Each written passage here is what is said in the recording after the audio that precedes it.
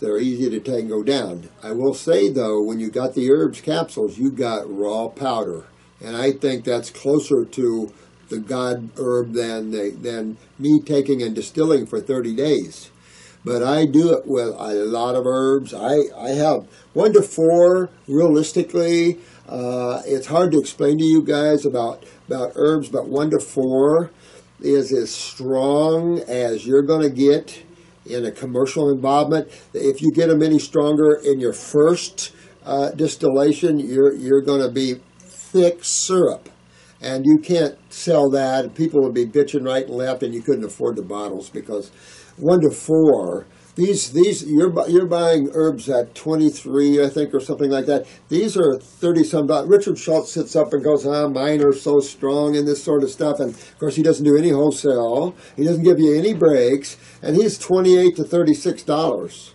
Mine's stronger than his. Mine's one to four.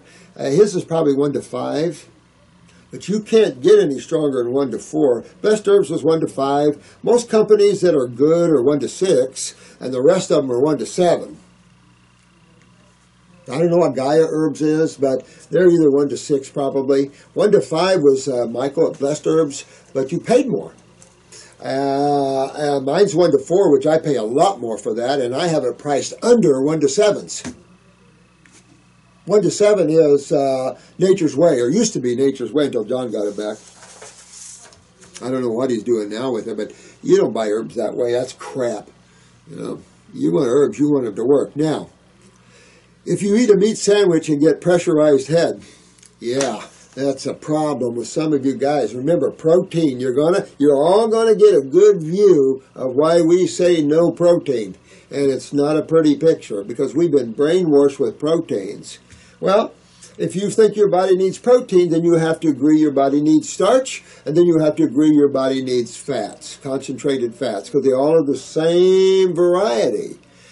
But if you're smart, you know your body requires amino acids, not complete amino acids, which are complex proteins, are made of them, but they're just complex to the point it's hard to break them apart. Then you got the pep and polypeptide stages you've got to deal with there. So you've got quite a bit more to deal with than just simple amino acids. You know what I'm saying? And um, yeah, simple sugars and simple fatty acids, those are mandatory. But when you complex chemistry, no longer can the body deal with it. Yet we push complex chemistry. I don't get that. Uh, so, uh, yeah. Now, pressurized head cold water, especially on the back of the head, neurolymphatic points down the back. Get on watermelon fruit. Start draining that lymph. Get that lymph moving as best you can because that's what I'm talking about. Too many people are getting pressurized heads. Uh-uh, uh-uh. Nothing good comes of this. This gentleman was in this morning. His wife was in. They just drilled holes in her eyes because of glaucomic pressure. Instead of realizing what's causing it and fixing it, they drilled holes in her eyes common stuff, but still, it's like, oh. And she was only one week of coming to see me or two. It's like, oh, poor thing. But that doesn't save the day. They just drilled holes in her eyes. They didn't fix her lymph system. So she's got all kinds of things going on. So, you know what I'm saying? You guys are getting smart. Stay smart. Don't be pulled in places that have no nowhere to go but dead ends. So, thanks. Thanks for that, John. But get that pressurized head out of there. I'm telling you. And remember, when you combine protein and starch, bad news. Starch is a is a base chemistry digester, and guess what meat is? Acids. So you need an acid. It's so complex, you need an acid to break it apart. Base chemistry won't break uh, meat apart. It requires acids, like Coca-Cola. Actually, Coke won't even hardly do it. It will break up meat eventually. It's hydrochloric acid, which is 10 times hotter than Coke. Coke is just what your cell acids are. Ow! You ever feel a lot of pain anywhere? That's 3 pH pain. Good morning to you all. Good morning, Denise. I wanted to let you know that you are the most amazing. Oh, man. Thank you so much. I love you, honey. It's the same name as my second wife, Denise.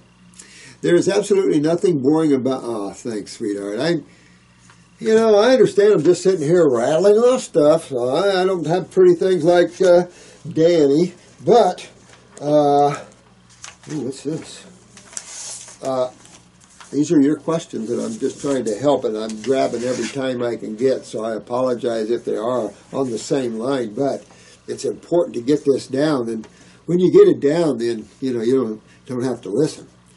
Uh, and I have watched them all. Oh my God! Oh, that's a lot of them. The time and respect you give to the oh, I love you. Thank you, honey. I really do. No one out there speaks so much thanks, sweetheart. Oh man, she resonates with what we're saying. I love you. I love you too, sweetheart. Thank you, Denise. Thank you for this. We need people like you. Look forward to more. Oh, thanks, Denise. Thanks, thank you, thank you. And loving the light as well. God, it's so good to connect with so many spiritual guys. I felt like I've been out in the woods for so long. You know, I was in Eckankar for about 30 years, somewhere in that range, and, you know, we had a lot of friends there, but you know, I miss uh, spiritual people, and I miss that. I feel like I've lived out in the uh, darkness too long, you know. But you got to have uh, those people that give the light out. You got to have us in the dark because there's so much darkness out there. So don't be surprised if God doesn't stick you where it's dark, because that you're the light. You remember that each and every one of you, Denise, you're you're very much the light. You know, you guys are the light. Kelly, you guys are the light. John, all you guys you know, look what you're doing, Ian. All you guys, Marco, you guys are all good. We're all here as one, you know. We all help each other and we help others. And we have our ups and downs, okay. But that's life in general, you know. But getting well, that's the first step. What's the second? Getting well spiritually. That's a good step. Mm. Riddle. Riddle. All right. Is allness the same thing as nothingness? Allness implies everything, and nothingness implies nothingness. So I want you to let me know what you think. Allness and nothingness.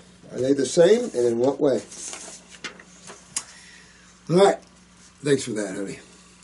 Chad. Hey, Chad.